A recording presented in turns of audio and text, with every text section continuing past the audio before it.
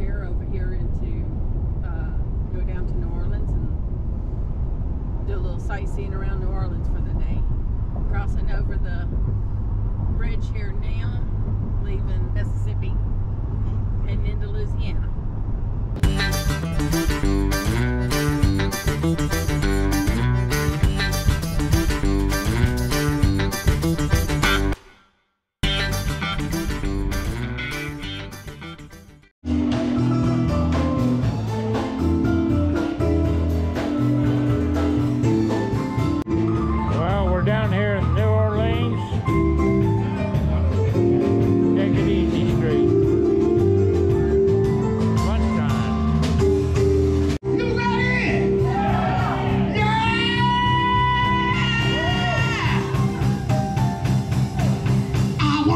Wanna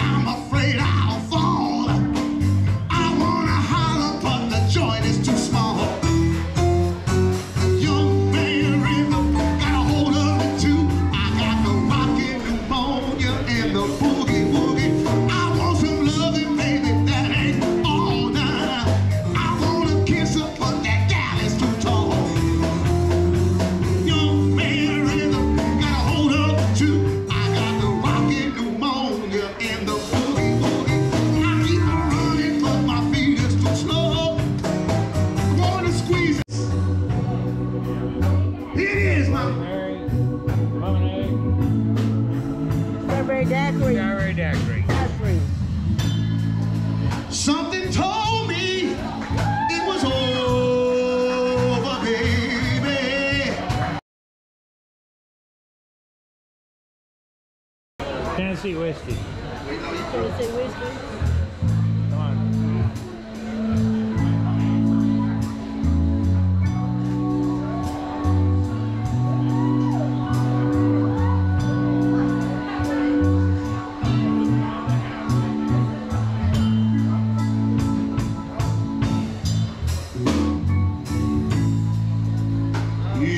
Spend my nights out in a ballroom. We had lunch. It was all real good.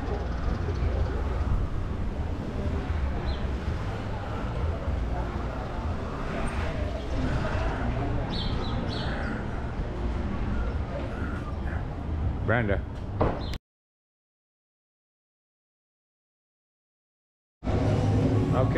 Done eating. Now we found Southern Candy Makers, best pralines, award-winning candies. So we're going here. Brenda's already in here.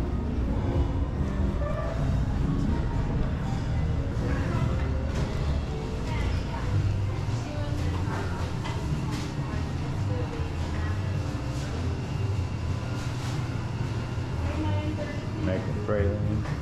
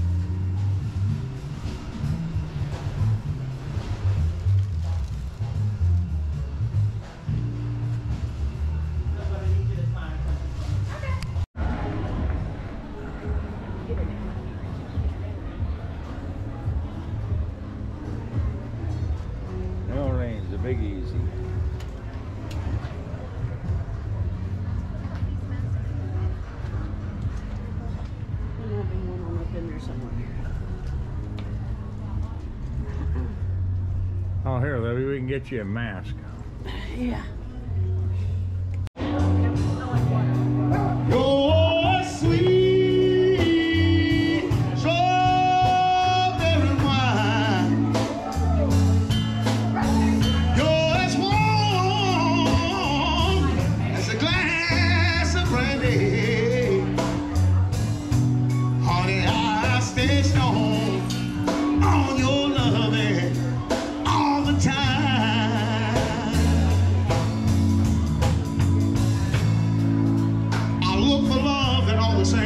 the same old places. Kmart, Walmart, strip club, Home Depot. But found the bottom of the bottle, always try. You can find a woman who owned a house at Home Depot. Yeah, I'm telling you. When you pour out your heart, I didn't waste it.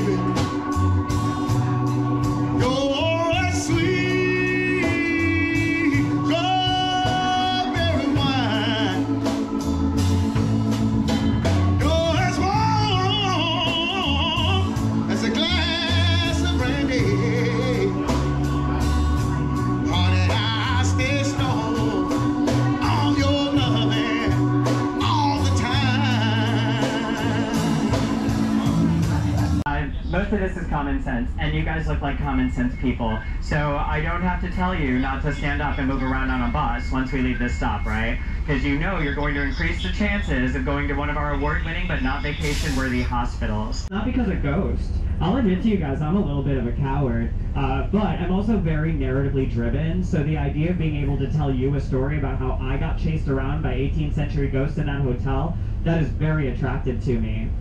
Unfortunate, well, fortunately, I'm a tour guide. Unfortunately, I have student loans, and it's a very expensive hotel, right?